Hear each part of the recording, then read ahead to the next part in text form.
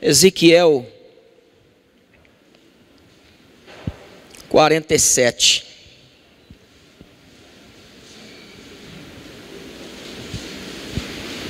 Amém? Vamos ler a partir do versículo 1. Vamos ler até o 6. 5. Diz assim a palavra do Senhor. Amém? Que eu estou escutando barulho de folhas. Quem não achou? Amém? Então vamos lá. Diz assim a palavra do Senhor: Depois disto, o homem me fez voltar à entrada do templo, eis que saíam águas de debaixo do limiar do templo para o oriente, porque a face da casa dava para o lado sul do altar. Ele me levou pela porta do norte e me fez dar uma volta por fora até a porta exterior que olha para o oriente. E eis que corriam as águas ao lado direito. Saiu aquele homem para o oriente, tendo a mão, tendo na a mão, na mão um cordel de medir. Mediu mil côvados e me fez passar pelas águas, águas que me davam pelos tornozelos. Mediu mais mil, mais mil e me fez passar pelas águas, águas que me davam pelos joelhos.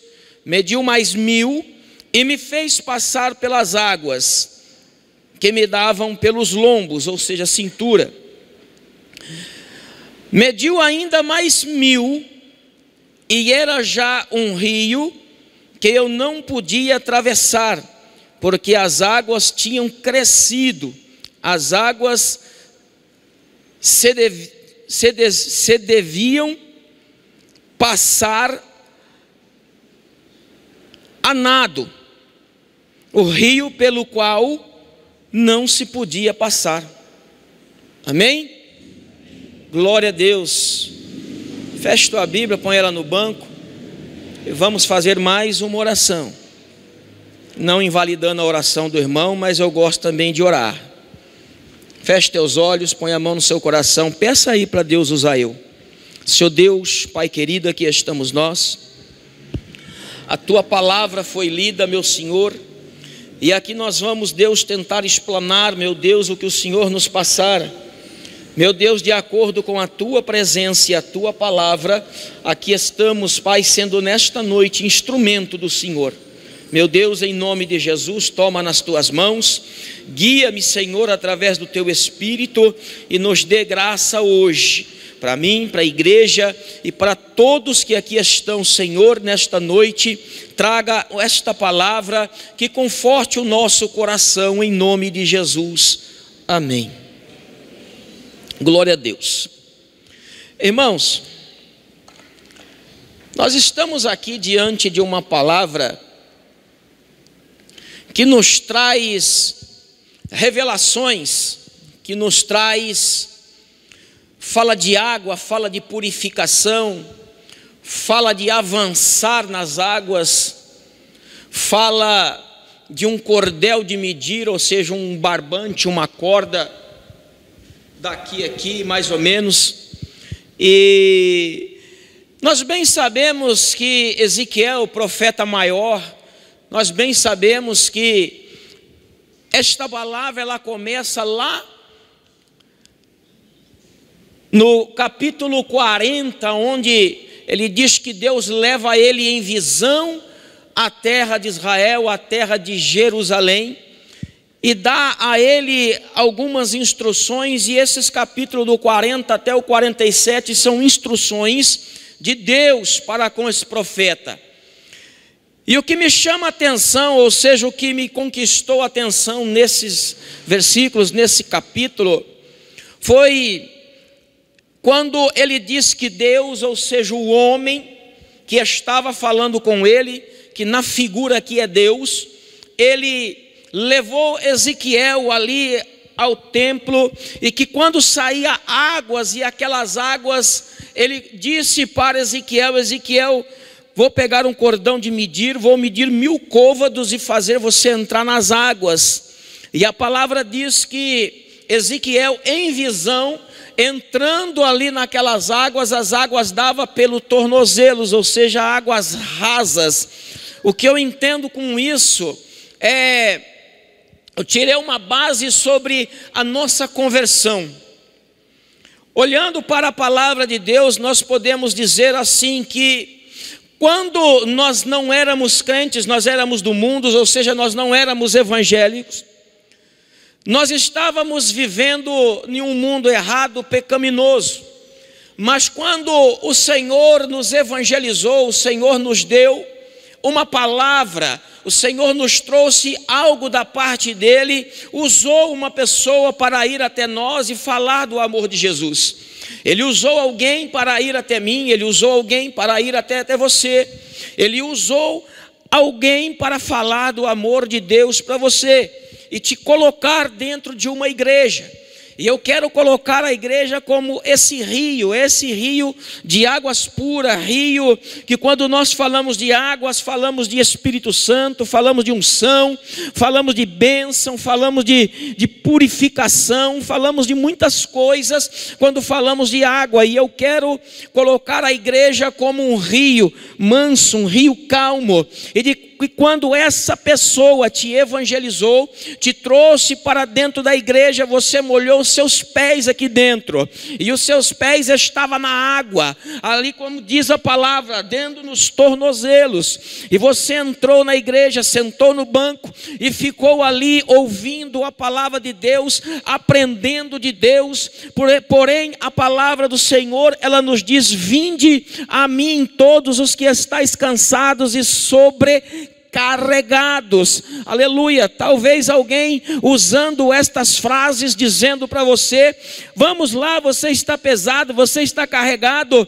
Vamos lá, vamos colocar os pés na igreja, ouvir a palavra do Senhor para conosco, estar o Senhor Jesus falando aos seus ouvidos". E você um dia aceitou esse convite, entrou, colocou os seus pés nas, na água e ficou por aqui, Jesus olhando para você. Jesus pregando a palavra para você através dos pregadores, através dos ministros, Jesus falando do amor de Deus para você, até que um dia o Senhor Jesus olha para mim, olha para você e diz: Você está sendo limpo pela palavra, porque está dizendo em João capítulo 15 e o versículo 3, a palavra diz assim: Vós estáis limpos pela palavra que vos tenho falado, e no versículo 4 4, a palavra de Deus, o próprio Jesus continua dizendo: permanecer em mim, eu permanecerei em vós. O que Deus nos disse algo, quando nós chegamos na igreja, eu vou pregar a palavra para você, vou limpar você e você permaneça em mim, não saia da minha presença. E assim nós que estamos aqui fizemos, não saímos da presença de Deus e colocamos a nossa fé em ação ouvimos a palavra e aqui permanecemos e dizemos: Jesus, nós vamos ficar por aqui mesmo. Eu quero ouvir mais desta palavra, eu quero aprender mais desta palavra e eu quero ser alguém um dia. O nosso Deus, que é bom, aleluia, Ele olha para você. E pôde contemplar a tua face, a tua alegria na presença de Deus. Olhando para a próxima, diz que o homem mediu mais mil côvados e mandou Ezequiel entrar mais para frente. A Bíblia nos diz que as águas davam pelos joelhos. O que eu quero dizer para você nesta noite é que Deus olhando para você, quando você chegando na igreja, quando você chegou na igreja, nosso Deus olhou, Jesus olhou, te contemplou, te limpou pela palavra, tirou os pecados, deixou lá fora e disse para você: Olha, vou abrir mais uma porta, vou te dar mais um degrau, você vai avançar mais um degrau, aleluia. Aí o irmão, aleluia, a irmã, o irmão que chegou na igreja olhando para orando para a face de Jesus, olhando para a glória de Deus, vendo que contemplando tudo aquilo que Deus já tinha feito, que talvez ele já teria largado do vício da cocaína, do crack, teria largado o cigarro, a bebida, todo tipo de coisa errada, ele contemplando aquilo tudo, vendo na vida dele, então ele aceita esse degrau e sobe mais um degrau. Aí então ele começa com a as águas no joelho, ele começa uma vida de oração e de jejum, aleluia. Ele começa uma vida querendo mais e mais, ele tem sede, ele tem sede. Aí Deus olhando para ele fala: Olha, Fulano, o teu ministério não é aqui, o teu ministério não é águas pelos tornozelos, é mais profundo o teu ministério. Avança mais um pouquinho, e as águas já dão nos joelhos, aleluia. O jejum e a oração leva aquele crente em acreditar em milagre. Quando ele jejua, quando ele ora, quando ele dobra o joelho e busca a presença de Deus, aquilo brota no coração dele, o desejo de conhecer mais desse Deus, o desejo de orar mais, de buscar mais, e ele passa a acreditar que o milagre na vida dele vai acontecer, aleluia.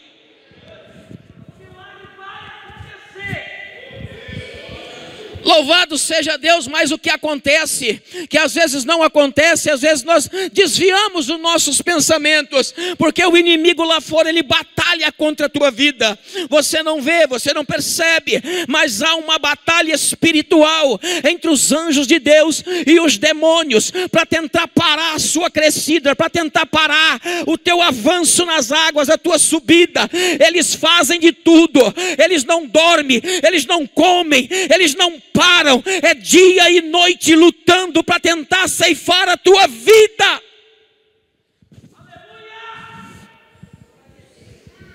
É dia e noite eles lutando. E quando nós passamos a acreditar no milagre de Deus, nós acreditamos no livramento. Nós acreditamos que Deus nos dá livramento, aleluia. Que Deus nos tira do, do, do, mal, Deus tira do acidente, do roubo, do assalto, Deus nos livra de todas as armadilhas de Satanás, porque nós acreditamos, Deus ele é movido pela tua fé. Se você não acreditar nele, você pode vir na igreja 50 anos, 60 anos, mas se você não acreditar que ele pode mover na sua vida as águas, ele não vai mover. Você tem que crer. Aleluia! As promessas de Deus na nossa vida é grande. Aí olhando para este lado, que Deus nos livrou lá fora, nos trouxe para cá, nos libertou do pecado, está no pondo para avançar, e sabendo que Deus já nos livrou do, da, da morte. Aí nós podemos dizer com prioridade: tragada foi a morte pela vitória, porque Deus deu vitória para você. Onde está, a morte, o teu aguilhão? Onde está? Jesus nos libertou pela graça de Deus. Jesus nos deu vitória. Jesus está conosco, aleluia. Portanto, permanecei firmes, inabaláveis, inabaláveis na obra de Deus. Mantenha seus pés firmes no chão, ainda que as águas balançam, ainda que as águas chacoalhem e venham ondas, mas fique firmes, fique firmes, mantenha-se inabalável, firmes nas promessas de Deus, diz a palavra do Senhor em 1 Coríntios 15 permanecei firmes e inabaláveis na presença de Deus, porque Deus é aquele que pode mudar a tua história. Eu não sei qual o problema que você entrou aqui, eu não sei se você está com seu coração triste, eu não sei se você está enfermo, eu não sei se você está com a situação financeira derrotada. Eu não sei se hoje, no momento aqui, você está vivendo de aparência, eu não sei, mas uma coisa eu sei falar para você, irmão, irmã: o meu Deus, o Pai eterno, que por sinal é o mesmo Deus que você serve, pode mudar o curso da tua vida. Ele pode mudar o curso da tua vida. Basta ter fé. Basta acreditar. E Ele pode mover as mãos a teu favor. A palavra de Deus diz que as mãos dele não estão encolhidas. Para que não possa te atender, nem os ouvidos agravados, para que não possa ouvir. Irmãos, onde está tua fé? Está estacionada. Irmão, para mim tá bom.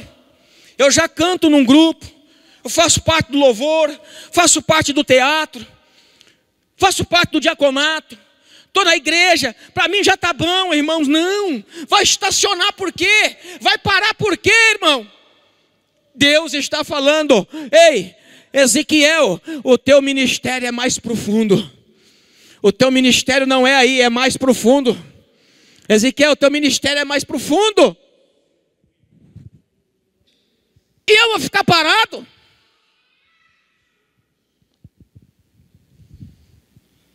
Eu vou ficar quieto? Aí vem o homem de novo, Deus, no caso, que quase na, a, a visão de Ezequiel, ele trata-se de um homem, mas Deus, dizendo: mediu mais mil e me fez passar pelas águas que me davam pelos lombos. É mais profundo. Ó diáconos, seus ministérios é mais profundo, não é só ficar aí na porta, não. Rodrigo, teu ministério é mais profundo. Alessandro, é mais profundo. É. Obreiros, obreiras, líderes, membros, o teu ministério é mais profundo. Tem mais para Deus te dar. Tem. É.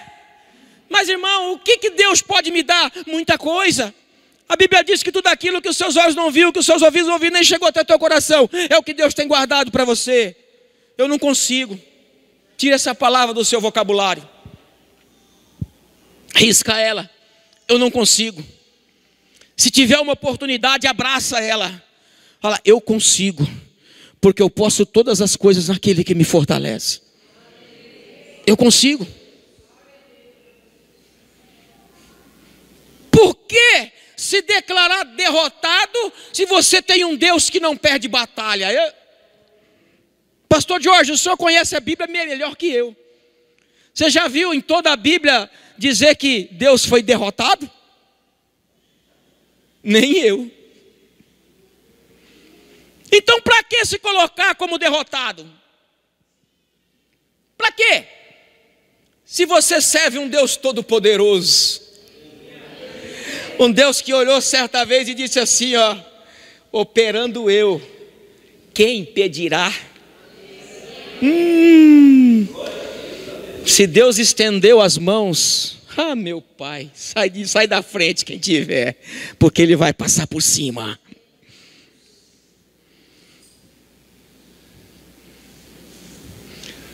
A Bíblia diz que não há outro Deus maior nem igual.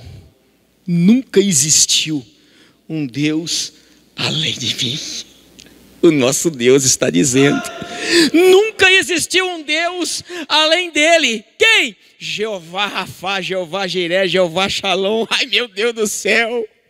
Nunca existiu um Deus igual ou que empatasse esse Deus que você está aqui dando glória para ele.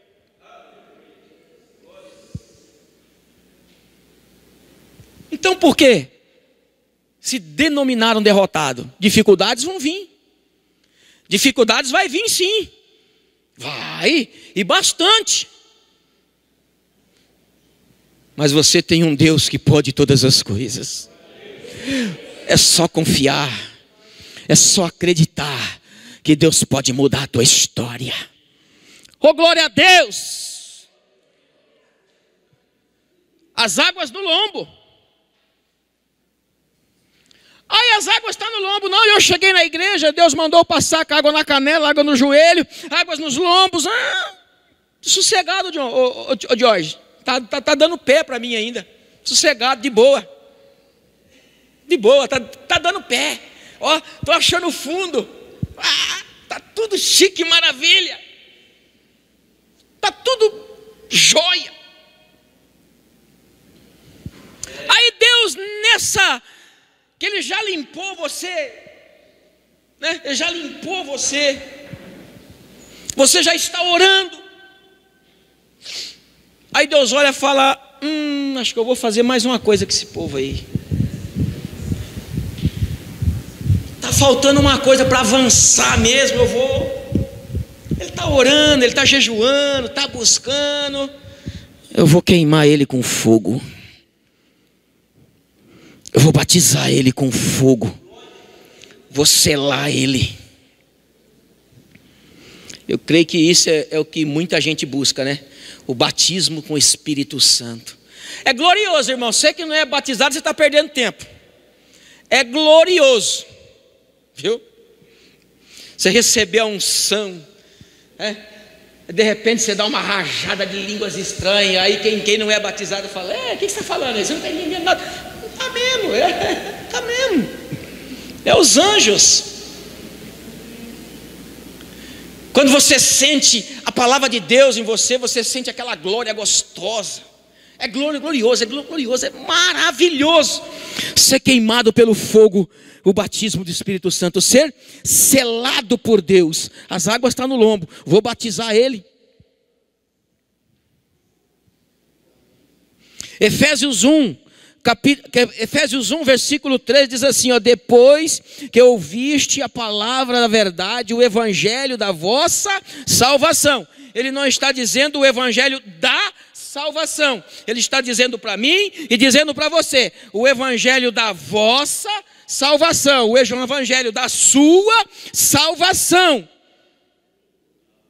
É, o evangelho da vossa salvação.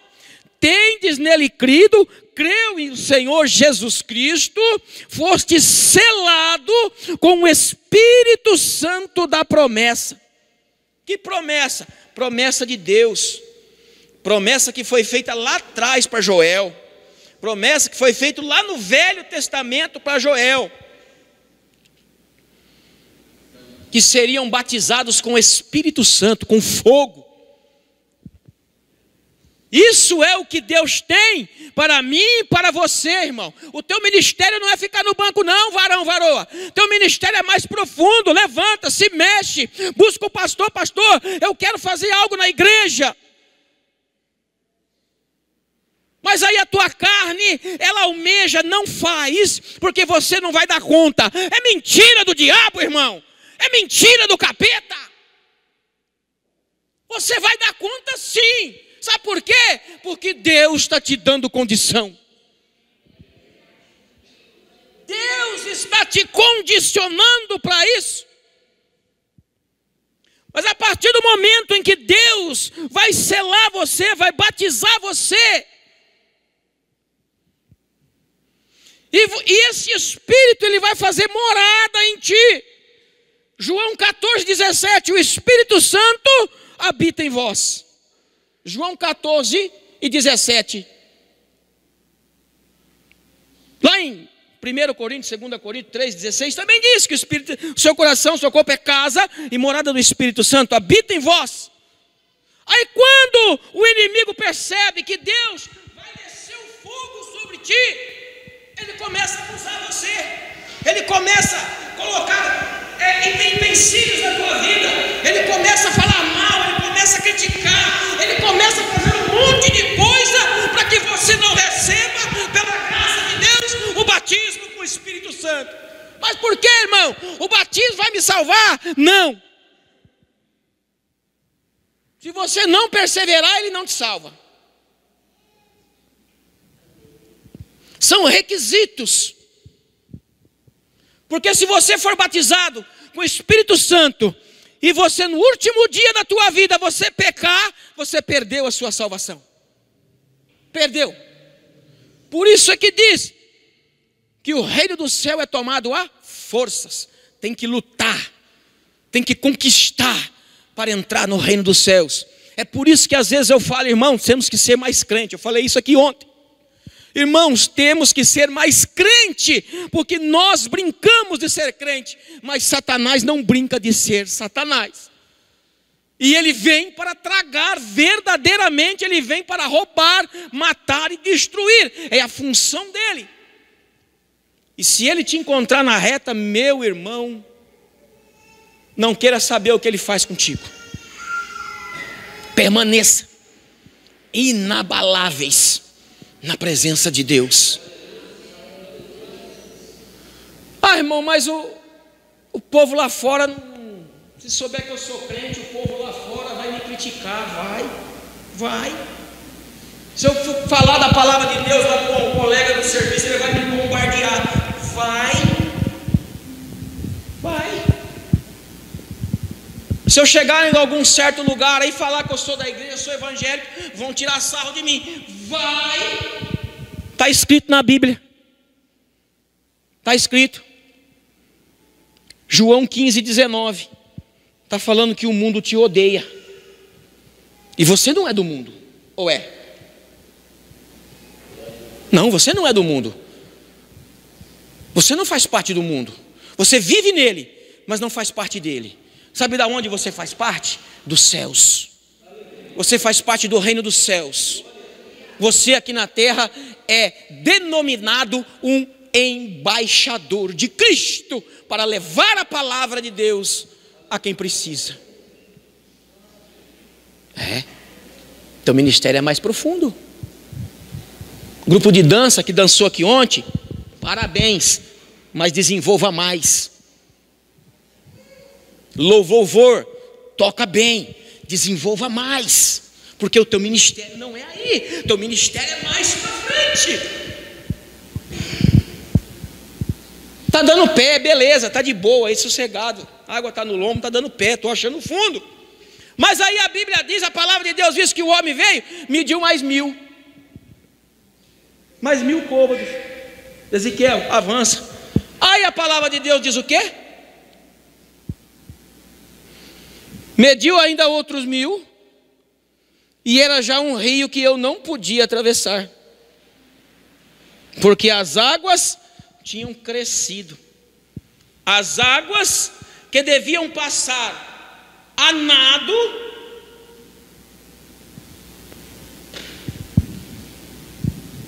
ela já era um rio, irmão.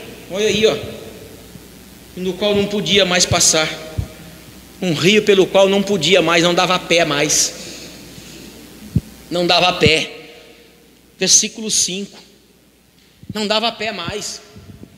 E aí? Está de, tá de boa? Vai, Ezequiel avança mais mil côvados. Ei, grupos, líderes, avança mais mil côvados. Não tem mais pé, não dá mais. Senhor, não dá mais, eu não consigo mais. É aí que Deus te quer. É aí que Deus quer pegar você. De lá para cá até ali, você estava de boa, dava pé ali, já não dá mais. Estava acomodado.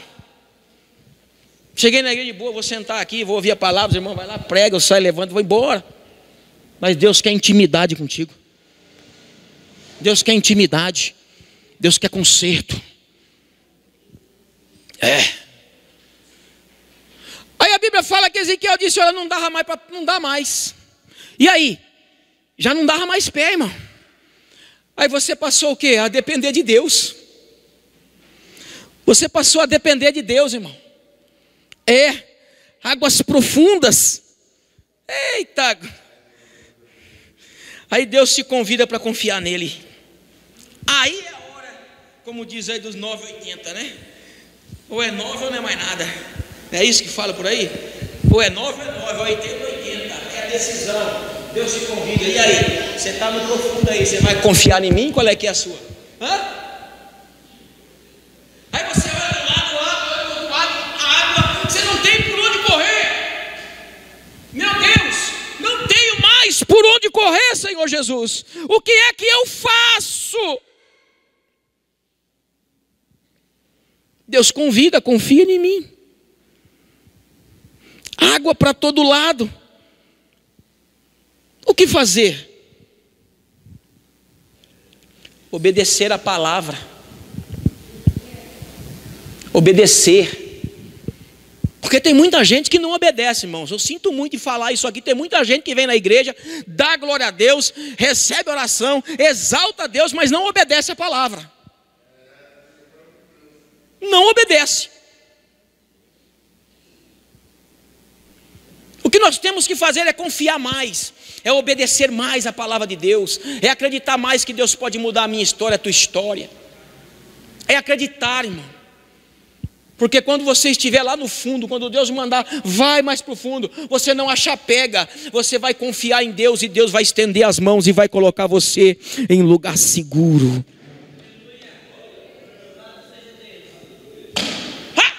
Arapacandarábia. Eita, manaço. Aí você vai ter que acreditar mesmo em Deus. O que diz lá em Jeremias 33, 3? Alguém sabe dizer para mim o que diz lá? Ó, vocês ouviram aí? E clama-te a mim. Deus manda você clamar a Ele. Ei, está no sufoco? Tem água para lá, água clama a mim. Eu estou esperando, estou aqui, estou olhando para você, você está afundando, mas eu vou ficar de braço cruzado. Você não está me chamando? Onde vai o livre-arbítrio dele? Ele só vai entrar na sua vida se você chamar. Clama-te a mim, Deus me socorre. Chamou, eu vou entrar na sua vida. Deus, estou aqui. Opa,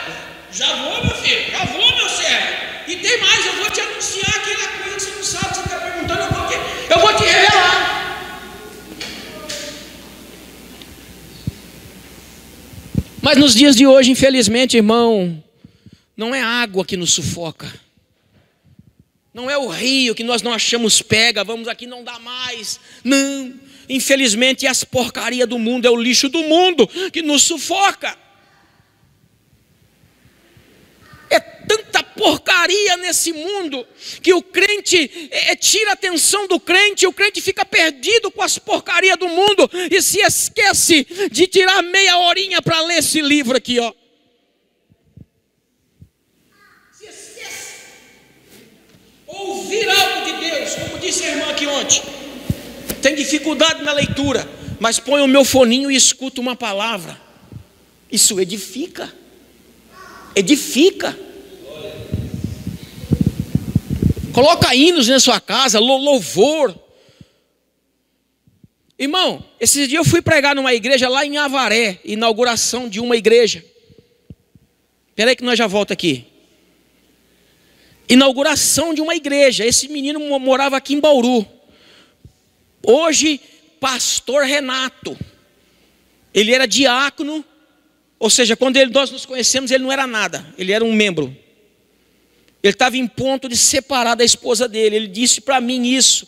Eu congregava numa igreja, um dia que ele foi lá, eu trouxe uma, uma palavra sobre os remanescentes, pastor.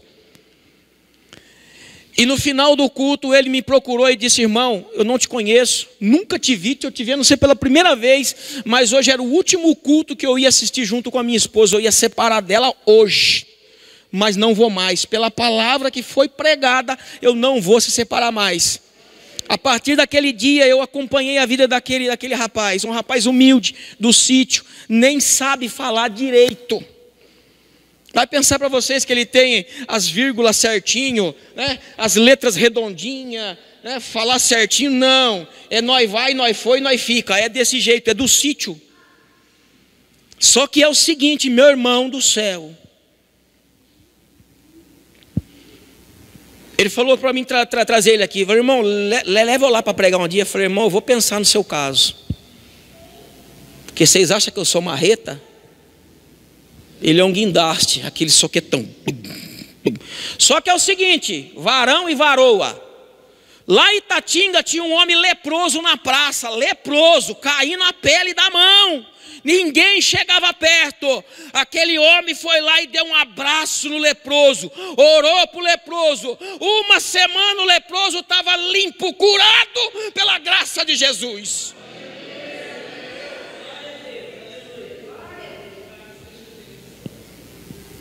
Ele morava ali no sítio da, da igreja evangélica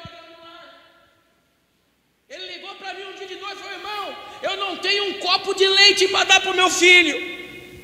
E eu estava lá em Panorama, não podia fazer nada. Eu falei, ele falou: irmão, fique em paz, eu vou orar. E ele foi orar. Sabe o que aconteceu, irmão? Aí você me pergunta: Deus deu um copo de leite para ele? Não. Deus mandou uma vaca que dava oito litros de leite por dia. No outro dia cedo, o cara foi lá e deu a vaca para ele. É.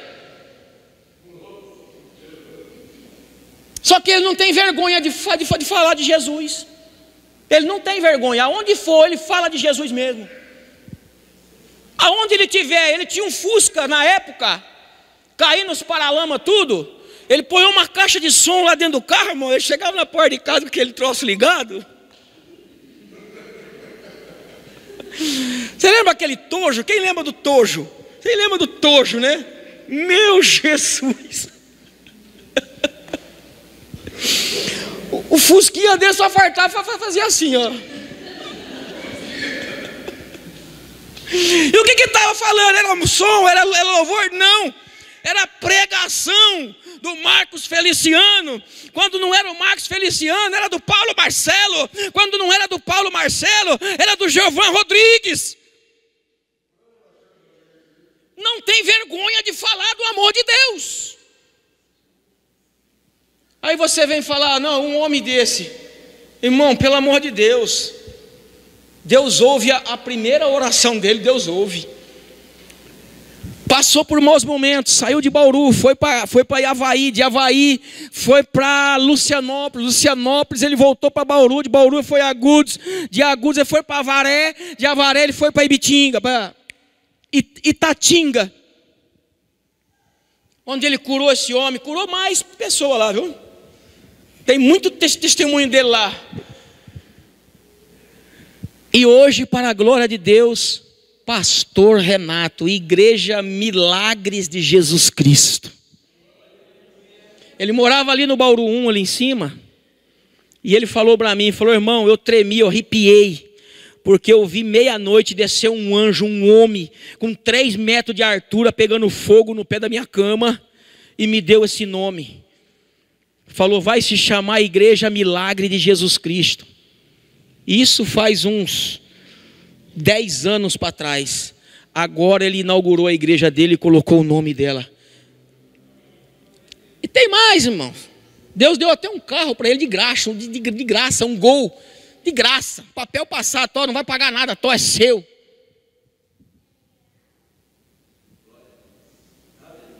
Dia que eu tiver a oportunidade, eu vou tra trazer ele aqui para pregar para nós aqui. Vou falar com o pastor. Aí as águas estão tá batendo, as águas estão tá batendo, está afogando, está afundando. E nós não clamamos a Deus, ficamos parados, reclamando, falando: Ô oh, Jesus, o que, que eu vou fazer? O que, que eu vou fazer? Mas não dobra o joelho e fala: Senhor, me ajuda. E confiar. Confiar.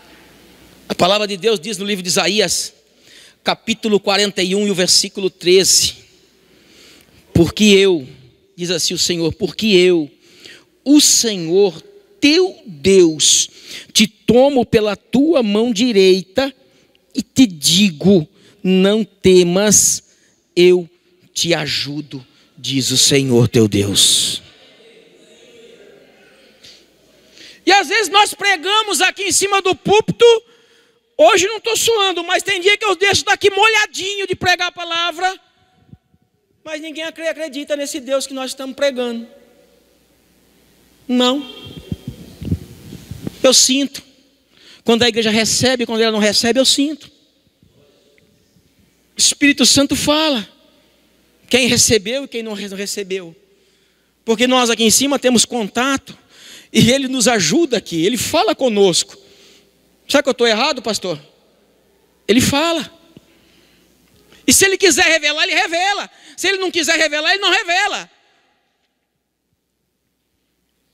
E nós estamos aqui para pregar a palavra de Deus, fazer o que Deus manda, o que Deus fala. Nós estamos falando. Se nós continuarmos a ler a leitura, continuar de descer, vai ter ali um momento em que ele diz, Ezequiel diz que o mesmo homem veio, tirou ele do rio e levou de volta para a margem, e a margem estava cheia de árvores. Árvores é benção. Árvores é riqueza da natureza dependendo das árvores que está, dá os seus frutos maravilhosos, é bênção, é maravilha. Diz que ele foi lá e colocou ele na margem do rio, e o rio estava cheio de árvores. Irmãos, o que eu quero dizer para você nesta noite, não desanime da presença de Deus.